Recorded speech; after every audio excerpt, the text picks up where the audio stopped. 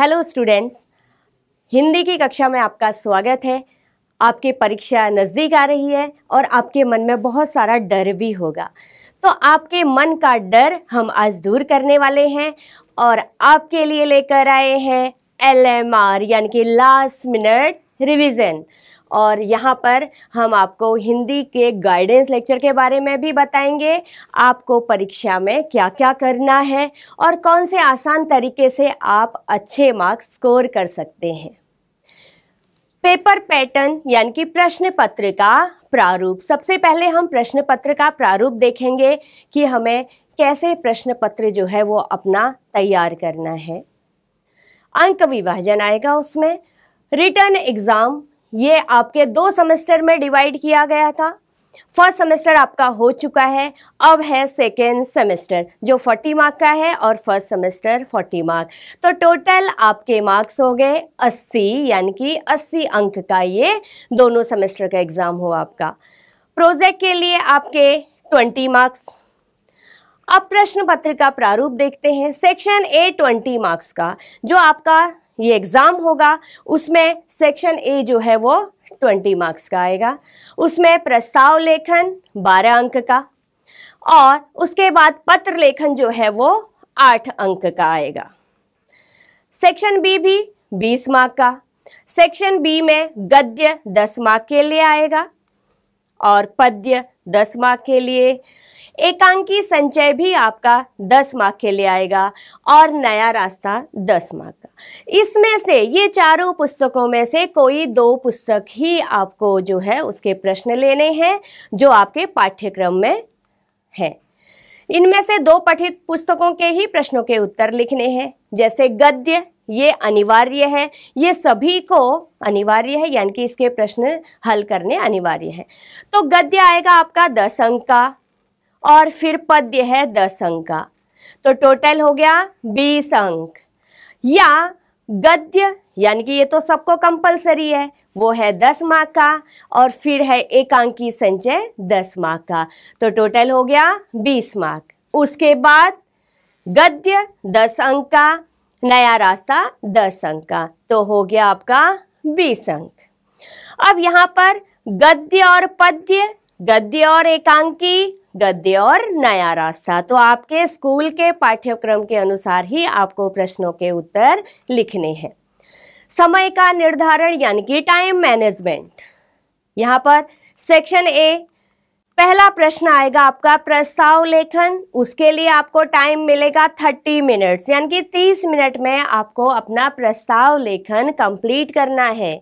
और उसमें आपके आएँगे पाँच क्वेश्चन पाँच में से कोई एक आपको हल करना है और उसके अंक होंगे आपको बारह और तीस मिनट एक्सपेक्टेड मार्क्स यानी कि बारह में से बारह अंक भी आप ला सकते हैं। दूसरा, पत्र लेखन, उसके लिए आपको मिलेगा 20 मिनट का टाइम तो इसलिए आपको 20 मिनट से ज़्यादा टाइम नहीं लेना है, क्योंकि अगर आप 20 मिनट से ज़्यादा टाइम लेंगे तो बाकी के प्रश्न का हल कैसे करेंगे? तो उसमें आपका ज़्यादा टाइम लगेगा। तो पत्र आएगा आपका आठ मार्क तो टोटल कितना हो गया? बीस अंक, पचास मिनट अब है सेक्शन बी साहित्य सागर गद्य, ये तो अनिवार्य है।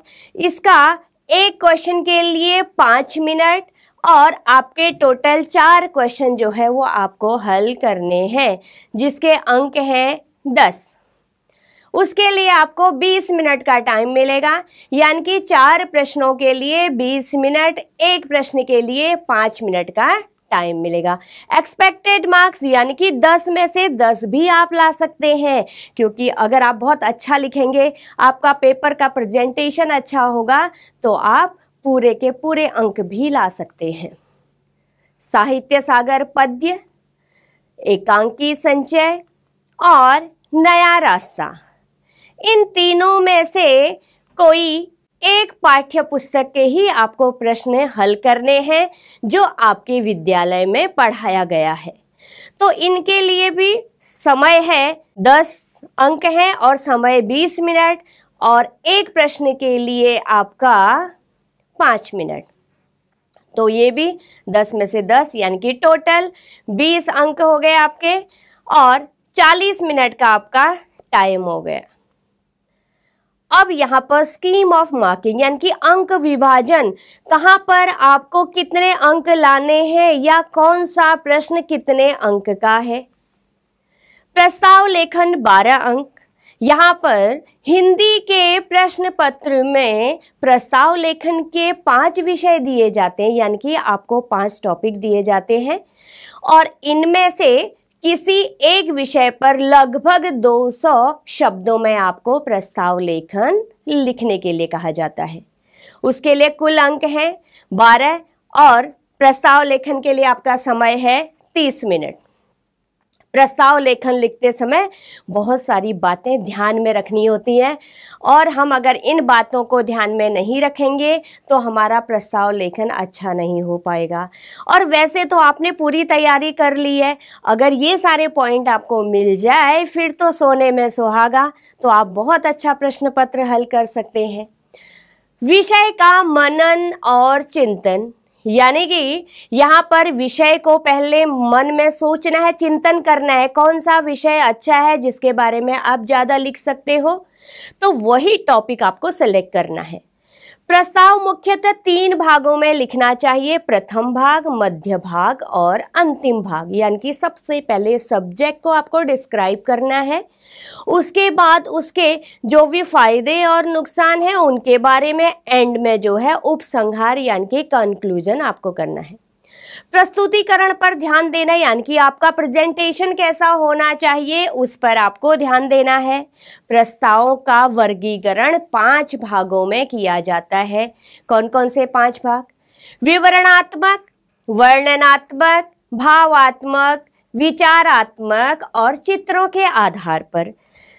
चित्रों के आधार पर हो सके तो थोड़ा सा कम कोशिश करना। बाकी जो चार हैं, विवरणात्मक, वर्णनात्मक, भावात्मक और विचारात्मक, ये निबंध लिखने के लिए आसान होते हैं और आपके पास इनको लिखने के लिए बहुत सारे पॉइंट्स होते हैं। चित्रों के आधार पर क्या है कि अगर आपका ये थोड़ा भी गलत हो जाए तो आपके अंक जो है वहाँ पर कट सकते हैं।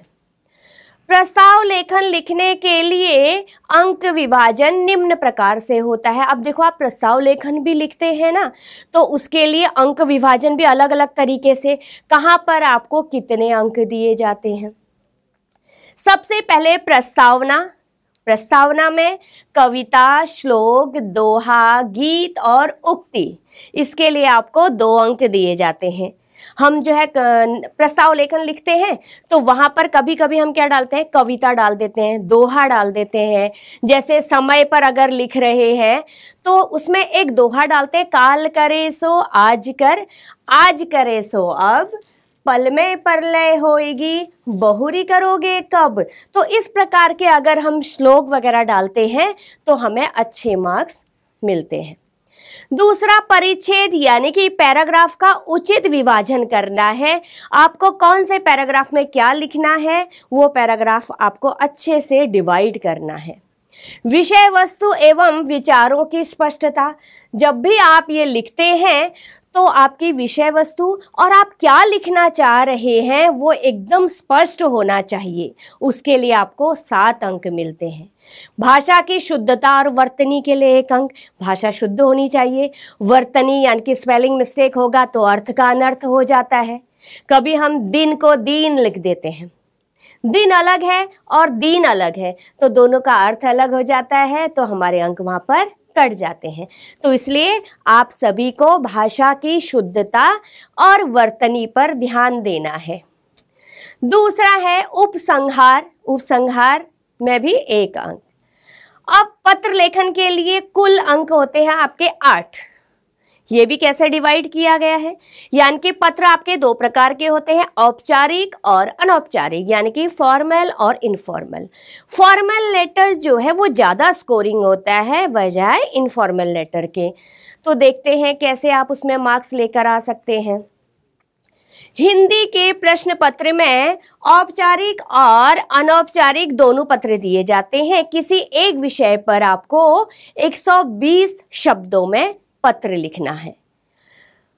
पत्र की शुरुआत सही अभिवादन, यानी कि शुरुआत सही अभिवादन से करनी चाहिए। सेवा में आदरणीय, जहाँ भी भी लिखना है, प्रधानाचार्य हो गया या कोई और पद के लिए तो ये उचित जो है वो उदाहरण होना चाहिए। और पत्र लिखने वाले को यानी कि जो प्रेषक होता है पत्र लिखने वाला, उसका एड्रेस ऊपर यानी कि लेफ़्ट साइड में होना चाहिए और उसके बाद दिनांक लिखा जाता है।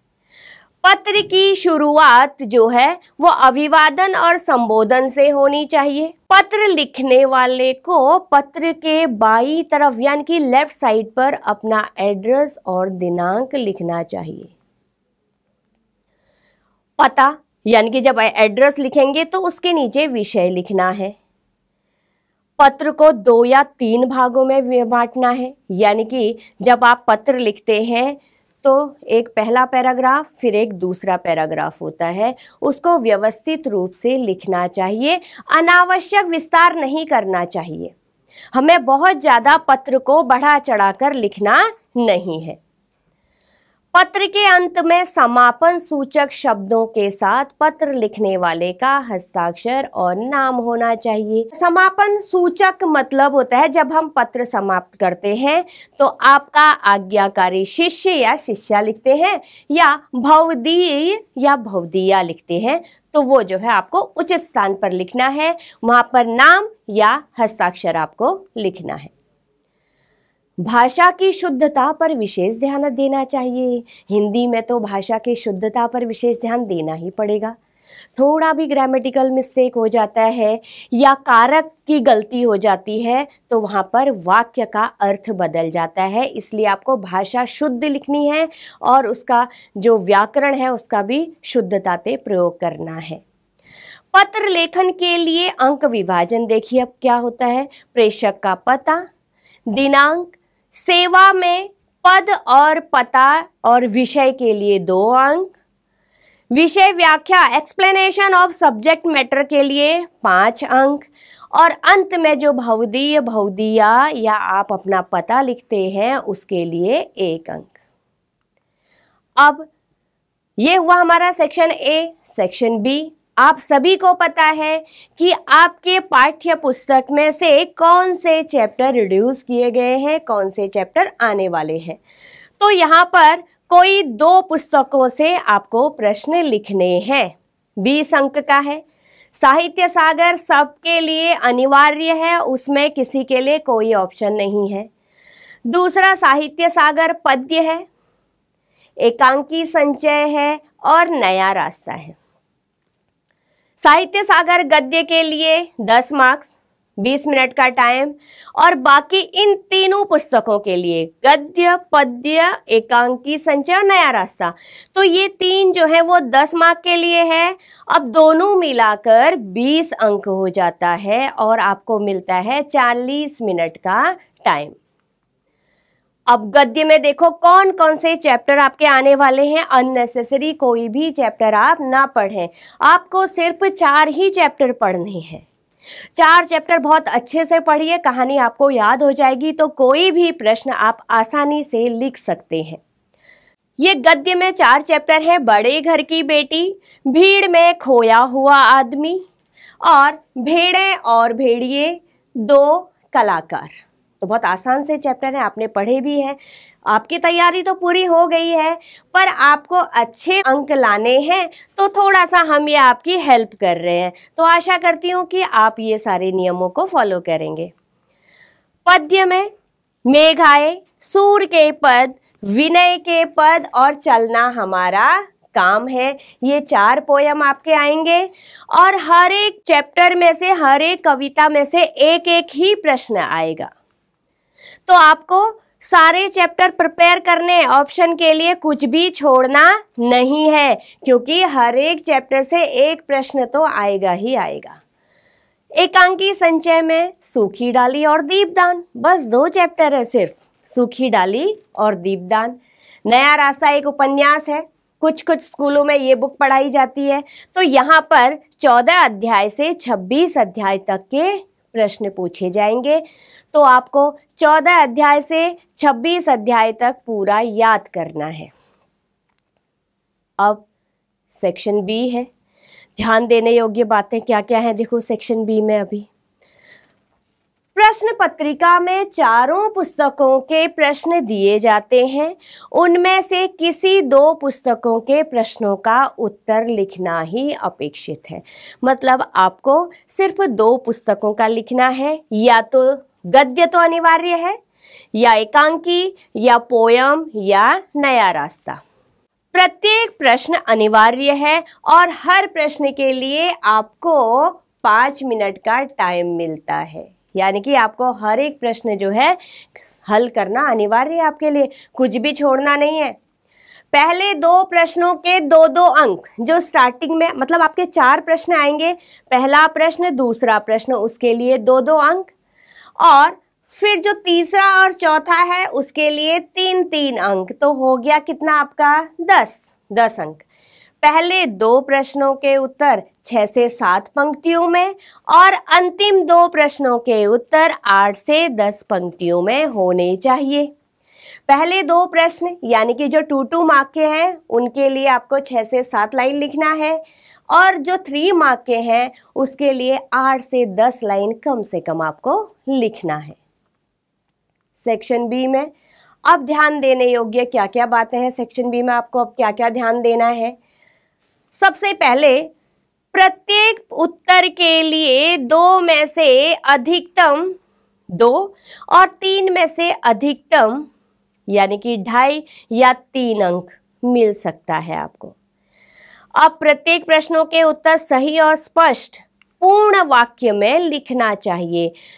हर एक प्रश्न का उत्तर आपको एकदम सही, स्पष्ट, एकदम क्लियर और पूरे सेंटेंस में लिखना है। सेंटेंस को अधूरा नहीं करना है।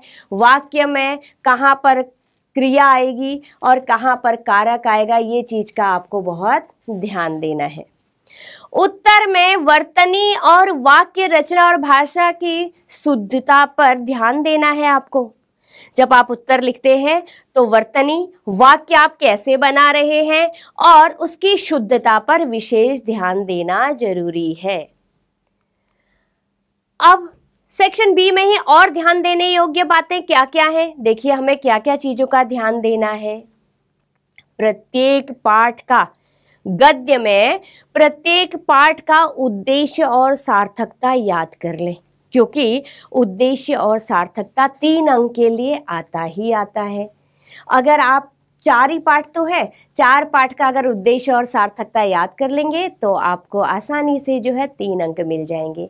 और मुख्य पात्रों का परिचय भी पढ़ लें। अगर पात्र परिचय पढ़ लेंगे तो उनके बारे में जो भी प्रश्न आएगा, आसानी से लिख सकते हैं।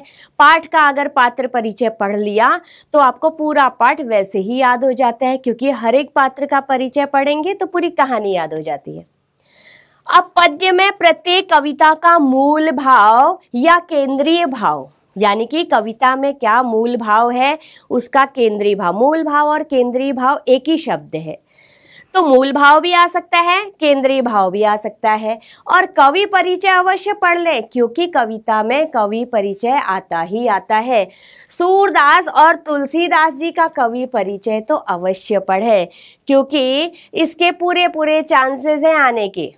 अब एकांकी संचय में पाठ का उद्देश्य। सार्थकता और पाठ से क्या सीख मिलती है, ये सब पढ़ना अनिवार्य है। ये भी आप पढ़ लें। एकांकी संचय में सिर्फ़ आपको दो ही पाठ आने वाले हैं, सूखी डाली और दीपदान। बस दोनों का सार्थकता और उद्देश्य पढ़ लें और देखिए फिर आपके मार्क्स कोई काट नहीं सकता। पात्रों का परिचय भी याद करना अवश्य। क्योंकि पात्र परिचय तो बहुत ज़रूरी है। अगर आप पात्र परिचय नहीं पढ़ेंगे तो आपको कहानी कैसे याद होगी? इसलिए मुख्य पात्रों का परिचय अवश्य पढ़ लें, जैसे सूखी डाली में दादा मूलराज, बेला, इंदु, परेश। तो ऐसे मुख्य पात्रों के बारे में थोड़ा पढ़ लें। दीपदान में जो है, वो पन्ना, उदय सिंह, वनवीर और कीरत बारी, जिसने कुंवर उदय सिंह की जान बचाई थी तो इन पात्रों के बारे में पढ़ना ज़रूरी है। अब है आपका नया रास्ता। नया रास्ता जो है, वो एक उपन्यास है तो इसमें 26 अध्याय है, जिसमें से आपके 14 से लेके 26 तक ही आने वाला है। उपन्यास का उद्देश्य और मुख्य पात्रों का परिचय याद कर ले, उपन्यास का उद्देश्य पढ़ ले। दूसरा मुख्य पात्र सबको पता है, मीनू, अमित, नीलिमा, सुरेंद्र और दयाराम जी और मायाराम जी। तो इनके पात्र परिचय थोड़ा आप लोग याद कर लें। तो आपको परीक्षा में ये बहुत मदद मिलेगी, क्योंकि एक दिन पहले आपको ये तैयारी करनी है। तो इस शॉर्ट में आपको बताया जा रहा है, जहाँ पर आप बहुत कम समय में अच्छे अंक लेकर आ सकते हैं। अब यहाँ पर है पत्र लेखन। पत्र लेखन दो प्रकार के होते हैं, औपचारिक और अनौपचारिक। तो यहाँ पर औपचारिक पत्र के बारे में बताया है। औपचारिक या अनौपचारिक पत्र में से कोई एक पत्र ही आपको लिखना है। औपचारिक पत्र में परिचय, सबसे पहले प्रेषक का पता, दिनांक, फिर विषय। फिर पत्र जो है, वो समापन और निवेदन और पूरा नाम, इन पर ध्यान देना है आपको। अब औपचारिक पत्र का प्रारूप देखिए कैसा होता है। सबसे पहले प्रेषक का पता आप लिखेंगे, फिर दिनांक, सेवा में, यानी कि दिनांक के बाद भी आपको एक लाइन छोड़नी है। सेवा में जो भी प्रति है, प्रति मतलब रिसीवर तो रिसीवर का पता और उसका नाम लिखना है। उसके बाद एक लाइन छोड़नी है विषय, उसके बाद आपको पत्र की शुरुआत करनी है। ये है आपका पूरा फॉर्मेट पत्र का जहाँ पर आपकी कोई गलती नहीं होगी। ये है टिकट, पत्र के अंत में हमें टिकट बनाने को बोला जाता है। पत्र के ऊपर बाई और जो है, वो पत्र भेजने वाले का संक्षिप्त पता लिखा होना चाहिए। अनौपचारिक पत्र की बात हो रही है, यानी कि लेफ़्ट साइड में पत्र भेजने वाले का पता, पते के नीचे पत्र लिखने वाले की तिथि, यानी कि डेट लिखना अनिवार्य है, और दिनांक उसी दिन का लिखे जिस दिन पत्र लिखा गया है। अब संबोधन के बाद अभिवादन लिखना आवश्यक है। अभिवादन लिखना है संबोधन के साथ। और पत्र समाप्त करने के बाद संबोधन के अनुसार जो है वो अभिनिवेदन लिखना भी आवश्यक है। अब यह है अनौपचारिक पत्र का जो है, ये प्रारूप है। तो इसी प्रकार से आपको अनौपचारिक पत्र का फॉर्मेट बनाना है और औपचारिक पत्र का भी मैंने दिया है। आपके लिए जो आसान है, आप उसी को अटेम्प्ट करें और जो औपचारिक है, वो ज़्यादा स्कोरिंग है। अच्छे अंक पाने के लिए अच्छा प्रेजेंटेशन होना बहुत आवश्यक है। अगर पेपर का प्रेजेंटेशन अच्छा होगा तो आपको मार्क्स भी अच्छे मिलेंगे। अब यहाँ पर ये हमारा पूरा पेपर है, जो आपका एग्ज़ाम आएगा ट्वेंटी मार्क्स का जो है वो सेक्शन ए आएगा। इसमें आपके पाँच प्रश्न जो है वो प्रस्ताव लेखन के आएँगे। तो ये पाँच प्रश्न दिए हैं। देखिए स्टार्टिंग का एक, फिर ये हो गए चार।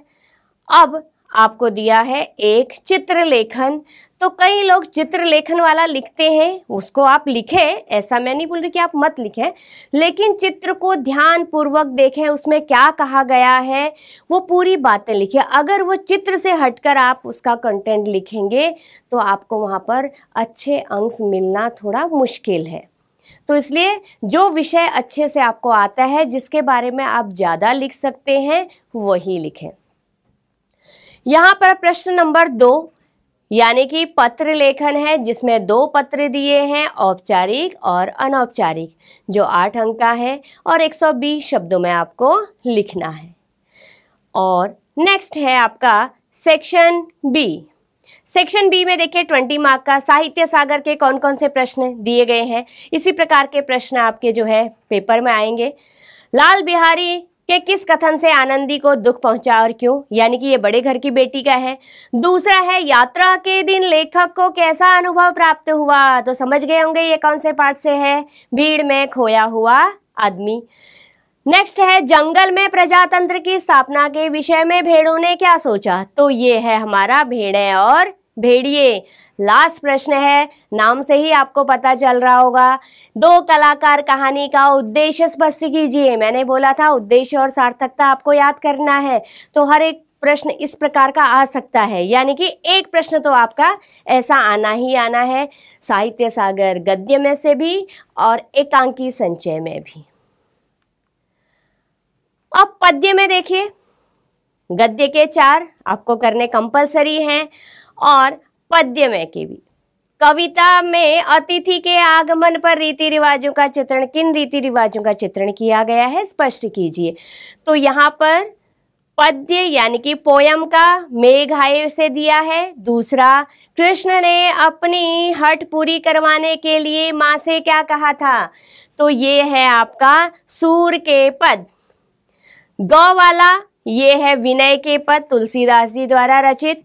और लास्ट है, चलना हमारा काम है। ये चार कविताओं के प्रश्न यहाँ पर दिए हैं। तो आपके लिए अब कोई भी कविता को जो है वो छोड़ना नहीं है, वो सारे कविताएँ आपको पढ़नी है, क्योंकि हर एक कविता से एक प्रश्न अवश्य आ रहा है। ये नया रास्ता है। तो नया रास्ता वाले जो स्टूडेंट हैं, वो नया रास्ता के ये सारे प्रश्न हल करेंगे। एकांकी संचय, सिर्फ़ दो चैप्टर है एकांकी संचय में, सूखी डाली और दीपदान। कितना आसान है, दो ही चैप्टर पढ़ने आपको। तो दो चैप्टर में से दो दो प्रश्न आएँगे। देखिए, पहला प्रश्न आया है, सब डालियाँ साथ साथ फलने फूलने से क्या आशय है?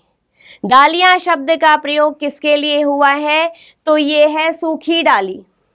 कोई तुम्हारा आदर नहीं करता, अब सब तुम्हारा आदर करते हैं। किसने किससे और क्यों कहा, स्पष्ट कीजिए। समझ गए होंगे आप देखकर प्रश्न को? ये भी सूखी डाली का है। गौ वाला दीपदान एकांकी आपको क्यों अच्छी लगी, समझाकर लिखिए। ये दीपदान से नाम से ही पता चल रहा है। दीपदान एकांकी के शीर्षक की सार्थकता बताइए। और एकांकी के माध्यम से एकांकी कार ने क्या शिक्षा दी है? यानी कि उद्देश्य, सार्थकता और सीख, यानी कि एकांकी से हमें क्या सीख मिली है? ये सब आपको पढ़ना है, क्योंकि इसमें से कोई ना कोई एक प्रश्न तो आना ही आना है।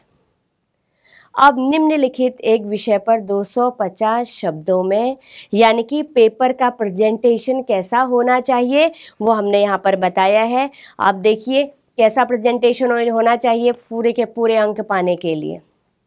यहाँ पर ये बारह अंक का जो है, ऐसे राइटिंग है। पहला वाला इसके बारे में हमने यहाँ पर बताया है। आपको पाँच में से कोई एक करना है तो ऐसे यहाँ पर एक प्रश्न का उत्तर दिया है। भरी ज़िंदगी में रिश्ते नातों की अहमियत खत्म होती जा रही है। इसके क्या कारण है? और आप इन रिश्तों को सजोने के मनुष्य और अनुभव से बहुत कुछ सिखाता है। यानी कि आप इन रिश्तों को सजोने के मनुष्य अपने अनुभव से मतलब आप रिश्तों को सजो रहे हैं तो इससे मनुष्य अपने अनुभव से बहुत कुछ सीखता भी है। और अपने बचपन के दिनों की किसी ऐसी सुखद घटना का वर्णन कीजिए जिसने आपके जीवन में नई सीख दी हो और भावी जीवन में वो आपके लिए उपयोगी सिद्ध हुआ हो।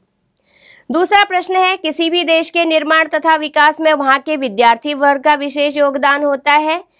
इस उक्ति के आलोक में बताएँ कि विद्यार्थी किस प्रकार अपने देश को उन्नति के शिखर पर पहुंचाता है।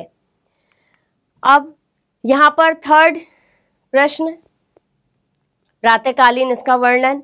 चौथा है आ, कहानी लेखन यानी कि मौलिक कहानी आ बैल मुझे मार। अब लास्ट वाला है चित्र लेखन तो आपको इनमें से कोई एक करना है। तो पहला वाला जो है यहाँ पर किया गया है, उत्तर एक का दूसरा। तो ऐसे आपका प्रेजेंटेशन होना चाहिए। देखिए, दो पेज कम से कम आपको लिखने हैं 200 शब्दों का है। अब पत्र लेखन आठ मार्क का है तो उसके लिए आपको क्या करना है? देखो, दो प्रश्न दिए हैं, उसमें से किसी एक प्रश्न का उत्तर लिखना है और आपका प्रेजेंटेशन कैसा होना चाहिए, वो यहाँ पर बताया है। विद्यालय में बैडमिंटन के प्रशिक्षण की सुविधा प्रारंभ करवाने के लिए अपने विद्यालय के प्रधानाचार्य को पत्र लिखिए। अब देखिए, आपका औपचारिक प्रश्न में ही उत्तर छिपा होता है। कैसे? किसे लिखना है पत्र विद्यालय के प्रधानाचार्य को? और विषय के लिए आपको एक अंक मिलता है। और विषय क्या है? विद्यालय में बैडमिंटन के प्रशिक्षण की सुविधा प्राप्त करवाने हेतु पत्र। तो क्वेश्चन में ही आपको आंसर मिल जाता है। इसलिए औपचारिक पत्र जो है वो ज़्यादा आसान होता है, जिसे आप बहुत अच्छे तरीके से लिख सकते हैं। दूसरा, आपका मित्र किसी खेल प्रतियोगिता में भाग लेने के लिए विदेश यात्रा पर जा रहा है। मंगल कामना करते हुए उसे पत्र लिखना है। तो यहाँ पर आपको अपने मित्र को पत्र लिखना है और ये है आपका अनौपचारिक पत्र, जहाँ पर कोई औपचारिकता नहीं होती है और औपचारिक पत्र में एकदम फॉर्मेलिटी औपचारिकता से पत्र लिखना है और बहुत कम शब्दों में लिखा जाता है। यहाँ पर ये है हमारा औपचारिक पत्र, आपका प्रेजेंटेशन ऐसा होना चाहिए। पता, उसके बाद दिनांक, विषय, माननीय महोदय यानी कि स्कूल के प्रिंसिपल को लिख रहे हैं।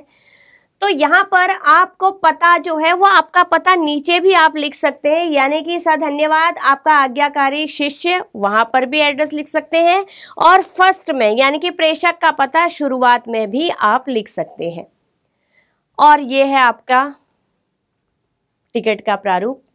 तो आपने देखा, इसमें आठ में से आठ अंक मिले हैं, क्योंकि कोई भी गलती नहीं है और कोई भी वर्तनी में भी गलती नहीं है। अब यहाँ पर आप देख सकते हैं, साहित्य सागर गद्य के चार प्रश्न दिए गए हैं और इन चारों प्रश्नों का उत्तर आपको कैसा लिखना है, यानी कि आपका प्रेजेंटेशन कैसा होना चाहिए। तो साहित्य सागर में चार चैप्टर के आपको चार प्रश्न दिए गए हैं। पहला प्रश्न, उसका उत्तर, दूसरा प्रश्न, यानी कि उसका उत्तर प्रश्न नंबर तीन का जो है क, ख, ग और घ। तो ये हैं आपके तीन तीन अंक के। और ये है आपका पद्य भाग पद्य भाग में जो है, ये कैसे दिया है? मेघ आए का, सूर के पद, विनय के पद और चलना हमारा काम है। तो यहाँ पर इसका उत्तर ये क वाला कभी तीन मार्क का भी दे सकते हैं। इसलिए आप कोशिश करें कि कम से कम आठ से दस लाइन में उसका उत्तर लिखें। ख, ग और घ। तो ये जो है, बहुत अच्छे प्रश्न लिखे हैं, इसलिए उनको पूरे पूरे मार्क्स दिए गए हैं। कुछ कुछ स्कूलों में ये पढ़ाया जाता है तो उनका भी उत्तर इसी प्रकार लिखना है। दो दो अंक के लिए कितनी लाइन और तीन तीन अंक के लिए कितनी लाइन लिखनी है। तो ये हमारा प्रेजेंटेशन है। और आप इसी तरीके से लिखें और पूरे के पूरे अंक जो है प्राप्त करें। और आशा करती हूँ कि आप ये सब फॉलो करेंगे और अच्छे अंक प्राप्त करेंगे। अब लास्ट में हमारा एक रह गया एकांकी संचय का। एकांकी संचय में चार प्रश्न दिए गए हैं। इन चारों प्रश्नों का उत्तर कैसे लिखना है? टू मार्क का देखो। ऐसे लिखना है। क और ख दो में से दो अंक मिला। ग और घ तीन में से तीन अंक मिला। कहीं कोई गलती नहीं है। तो आपको भी अपना पेपर का प्रेजेंटेशन ऐसे ही देना है। तो यहाँ पर हमारा पूरा पेपर प्रेजेंटेशन हो गया है। आशा करती हूँ आपको बहुत कुछ समझ में आया होगा और आपकी सारी दुविधाएँ दूर हो गई होंगी और इसी के साथ ऑल द बेस्ट